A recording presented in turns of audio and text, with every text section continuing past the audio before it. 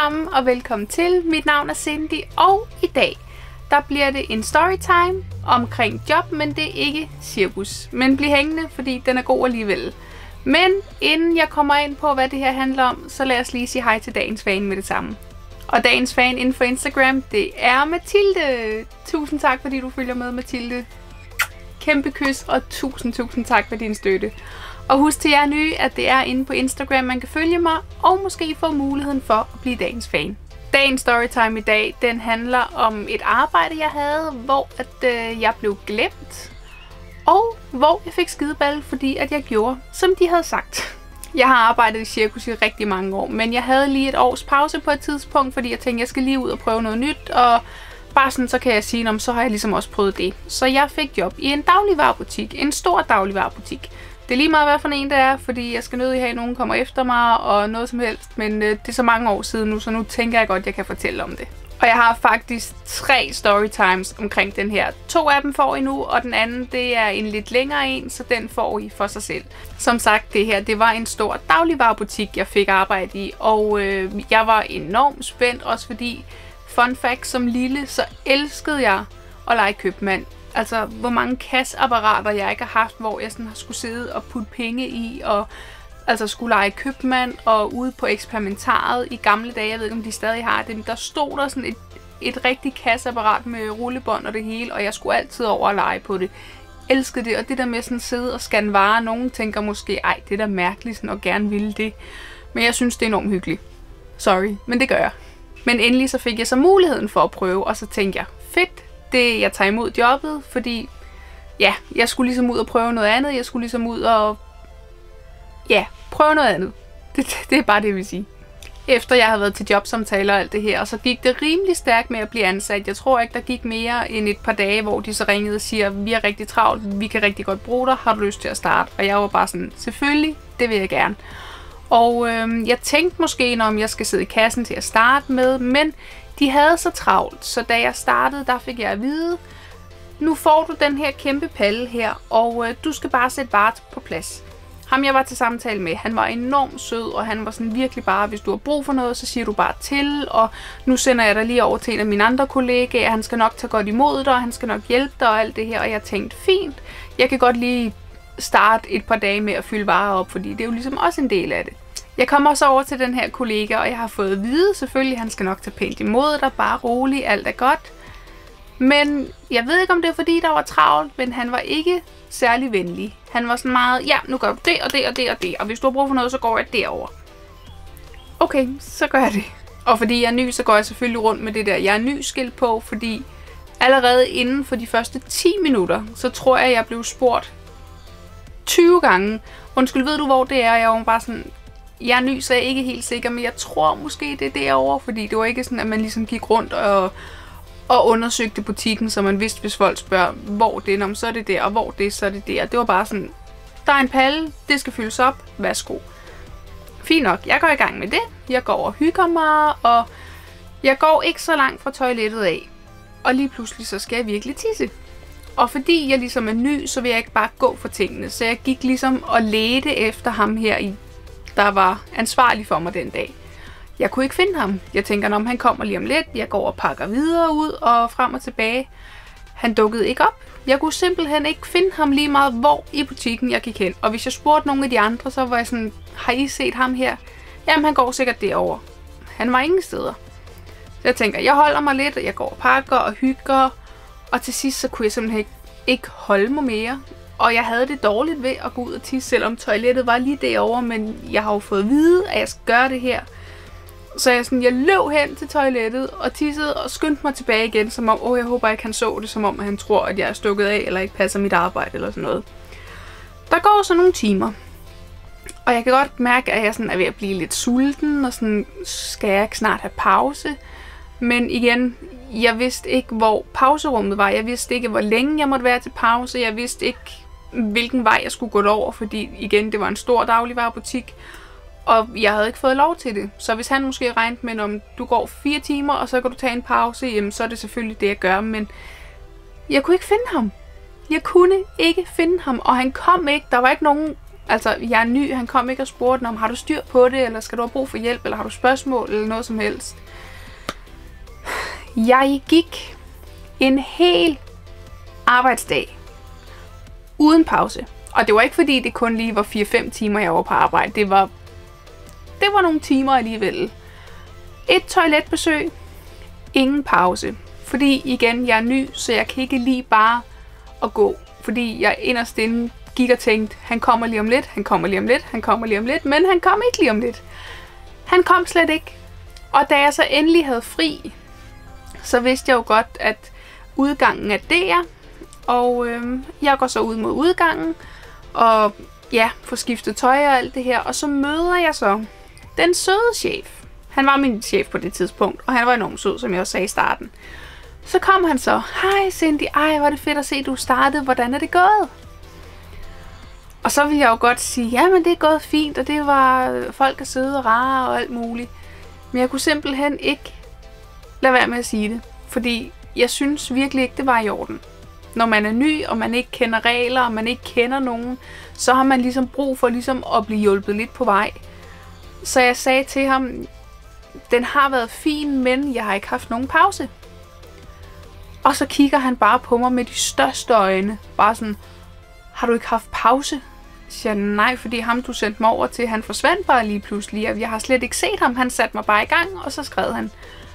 Og altså, han blev virkelig frustreret af ham der, for han var bare sådan, ej, ej, ej, det, det er virkelig, virkelig ked af. Jeg snakker med ham med det samme, ej, du må ikke tro, at vi er sådan, og ej, jeg håber, du kommer igen, og sådan, ja, ja, rolig nu, hvis du bare lige gør ham opmærksom på, at igen, jeg er ny, hvilket du også sagde, da du ligesom introducerede mig for ham, at jeg, jeg bliver nødt til at vide, hvornår jeg kan gå til pause. Jeg bliver nødt til at vide, hvornår der kommer en overtager, fordi det var der heller ikke nogen, der gjorde. Der var ikke nogen, der kom og sagde, jeg skal nok fortsætte, gå du op og spise din frokost. Ingenting.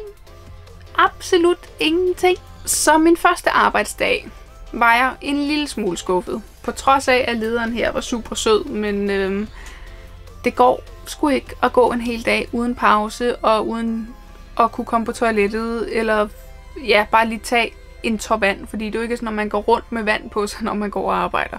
Så han snakkede med ham, sin kollega, og han fik en mindre skideball, og han kom også pænt og sagde undskyld bagefter, men øh, stadig sådan lidt arrogant-agtig, så det bryder jeg mig ikke så meget om. Men det var det, det var fint. Jeg begyndte så at blive lært op i kassen, og øh, som sagt så har jeg en øh, lidt længere storytime omkring det, fordi der var en, der blev virkelig, virkelig misundelig på mig, det snakker vi om i den anden. Men det her, det var så, da jeg ligesom havde fået sådan rimelig godt styr på kassen. Men der er selvfølgelig nogle regler, man skal overholde. I har for eksempel selv øh, læst det i tilbudsaviser, eller har hørt det i fjernsynet, eller når I har handlet. Her, der var der tilbud på sodavand. Og reglen var sådan, at du må købe 6 sodavand til den her pris, fordi den er så billig. Når du så køber en ekstra sodavand eller flere sodavand, så er det så til normal pris. Og øh, det havde jeg fået at vide, da jeg øh, satte mig i kassen. Jeg havde fået mine penge, og Cindy, du skal sidde i kasse det. Husk nu, der er tilbud på det her. Gør kunderne opmærksom på, hvis de køber et helt lager af sodavand, så er det altså kun de seks, der må være på en bong. Og så fik jeg også at vide, at hvis de virkelig insisterer på, at de skal have de her, og de siger, kan du dele bongen op, så må jeg gerne det. Men der må bare ikke være flere end dem til den pris på samme bong. I forstår nok godt, hvad jeg mener. Der kommer så de her to damer. Og nu bliver det lidt en Karen-historie, og dem kan I jo godt lide. Så jeg havde besøg af Karen i den her kasse. To af dem. De køber så rigtig mange sodavand. Fordi der er tilbud, de vil gerne have sodavand til en meget billig penge. Så de har købt til 40 familiefester. Altså de har virkelig købt mange. Og jeg scanner så de første, som der er tilbud på, og så kan jeg se, at de bliver ved med at lægge op, og ved med at lægge op, og ved med at lægge op, og så gør jeg dem opmærksom på, og siger, hej, jeg vil bare lige gøre opmærksom på, at det er kun dem her, der er rabat på. Hvis jeg skal scanne de andre ind, så er det til normal pris. Og så skulle man tro, at de måske sagde, det er fint, kan vi dele bongen op, som at min anden chef ligesom havde advaret mig om, at det kunne jeg godt gøre. Nej, de begynder at råbe. De begynder at skrige. de begynder at svine mig til, at jeg skal bare gøre, som de siger, og jeg skal bare passe mit arbejde, og jeg skal bare, og sådan sidde og pege ned til mig, som om, at jeg er et lille, et lille menneske, fordi at jeg sidder bag en kasse. Undskyld, hvis jeg ikke sidder her, så kan I ikke få jeres varer. Så må I gå et andet sted hen og betale. Alle jobs har en betydning, og det er lige meget, om du gør rent, om du sidder i en kasse, om du er øh, øh, sidder ved en bank, om du... Øh, alle jobs har en mening. Alle jobs betyder noget for alle mennesker. Så i min verden er der ikke noget med, ej, det er den nederen job, det der. Jeg synes, det var hyggeligt. Jeg kunne godt lide at sidde og scanne varer, og sidde og snakke med en masse mennesker, og få folk til at smile, og god service og alt det her. Men de her to begyndte at blive så tosset. Og så måtte jeg bare pænt sige til dem, prøv at høre, der er den her mulighed, at jeg kan dele bongen op, så I kan få rabatten på alle sodavandene. Det var de heller ikke interesseret i. De skulle have det hele på én bong. Og så siger jeg til dem, jeg har fået at vide, at der er tilbud på dem her, men jeg må kun sælge et vis antal på samme bong. Det er reglerne, jeg har fået af chefen. Det er chefen, der bestemmer. Jeg kan godt køre det hele igennem, men så er det altså en, en anden pris. Og igen begyndte de bare, du skal bare gøre, som vi siger. Du skal bare, og du skal bare, og du skal bare. Tænke, nej, jeg skal ikke noget. Jeg er ny. Der står sådan et skilt, hvor der står, jeg er ny, og jeg har lige forklaret dig, at jeg har fået at vide, at jeg ikke må gøre det. Jeg kan ikke bare gå ind og ændre prisen, fordi at du er flabet over for mig. Og igen, det er mange år tilbage, så jeg var ikke lige så rustet i Karens, som jeg er nu. Altså nu kan jeg godt bare lige men dengang, der gik det mig enormt meget på, fordi man sidder herinde i den her boks bag en kasse, og bliver angrebet af to damer, som bare står og peger på en. Ah nej, prøv lige at høre. Jeg siger det lige igen. Jeg har fået at vide, at jeg ikke må. Jeg kan dele bongen op. Så må I selv vælge, hvad I vil. Vil I betale fuld pris, eller skal vi dele bongen op? Jeres valg. Det her det ender så med, at de siger, så del det op, hvis du skal det fint, det gør jeg. Så de fik, det ved jeg ikke, 10 bonger eller sådan noget. Altså, det var mange ting, og det der med, at de, over, de skulle overbetale hele tiden, og ja, de fik deres sodavand til den normale pris, og så kommer det, der irriterede mig allermest. Fordi i den dagligvarerbutik, jeg arbejdede, der havde vi hver en telefon i kassen. Så det vil sige, at chefen hun kunne sidde og kigge på overvågningen og sige, Nå, men der er lidt, øh, der er lidt stille nu, når vi ringer lige til kasse 7 og siger, Cindy, Går du bare til pause? Fint nok. Min telefon ringer så på siden her. Jeg tager den og siger, ja, det er Cindy. Så er det en af de lidt yngre, der står op i informationen. Så spørger han, har du lige ekspederet to damer, som skulle have en masse sodavand? Og så siger jeg til ham, ja det har jeg, og jeg må diskutere med dem, fordi at de vil have de her sodavand øh, og måtte forklare dem, at, øh, at jeg skulle dele dem op på en bong, eller de skulle betale fuld pris, og så endte det med, at jeg så delte bongen op.